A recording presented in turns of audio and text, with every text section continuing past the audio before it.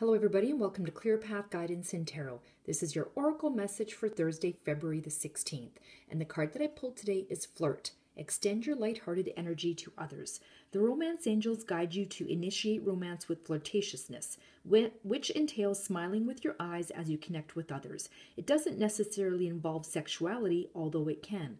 Flirting is playful in nature, and playfulness is the heart of romance. If you're in a relationship, Flirting with your par- partner can revive passion. If you're single, this activity can attract new friendship as well as a love relationship. Drawing this card can simply mean that making more eye contact with others will help you connect with people. This is especially true if you smile and say hello more often. Everyone you meet is a potential friend, and studies show that most people are introduced to their mates through mutual acquaintances. Therefore, form new friendships with friendships both as a way of meeting a new partner and to increase your enjoyment of life. All right, everyone, have a great Thursday. Bye bye.